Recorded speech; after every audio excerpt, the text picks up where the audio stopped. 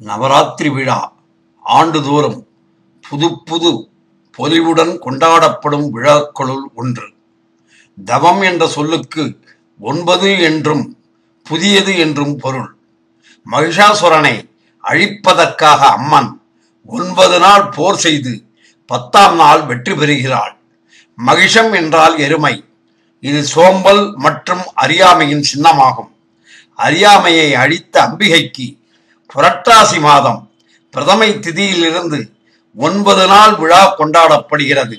இந்த நாட்களில் நம்மை சூழ்ந்துள்ள அறியாமை என்னும் இருள் விலக அம்பிகையை இரவு நேரத்தில் பூஜை செய்கிறோம்.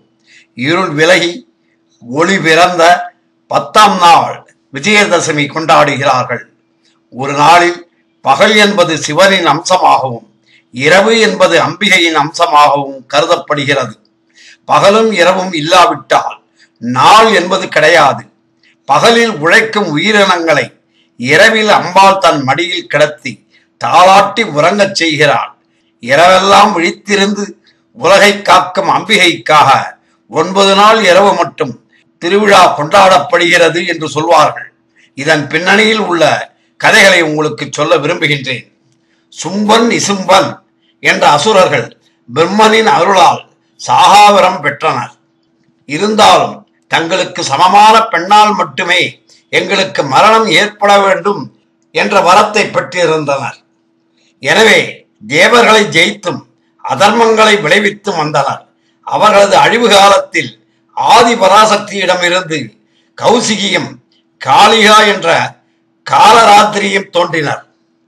காளிகாவுக்கு துணையாக முப்பெரும் தேவியின் வடிவான அஷ்டமாதர்களும் அஷ்டாத்திரிகளாக தோன்றினர்.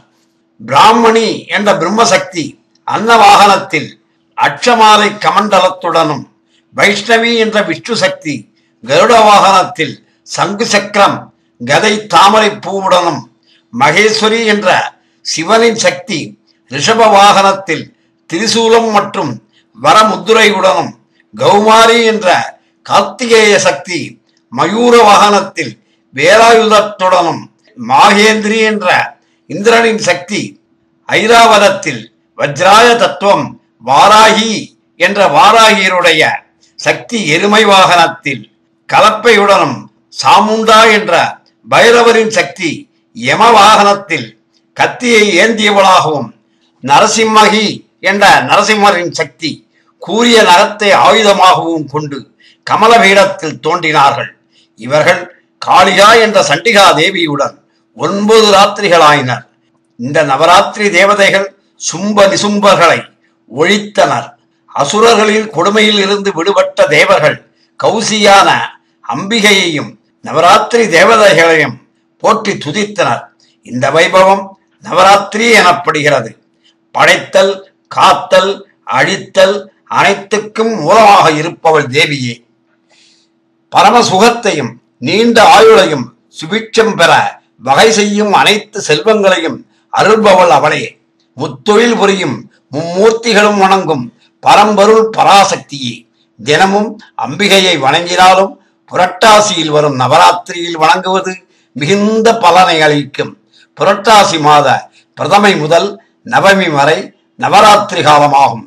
அதில் முக்குணங்களுக்கும் மூலமான சர்வலோக நாயகியை ஒன்பது நாள்களும் பூஜிக்கும் போது முதல் மூன்று நாட்கள் துர்கா பரமேஸ்வரியையும் அடுத்த மூன்று நாட்கள் மகாலட்சுமியையும் கடைசி மூன்று நாட்கள் சரஸ்வதியையும் வணங்க வேண்டும்.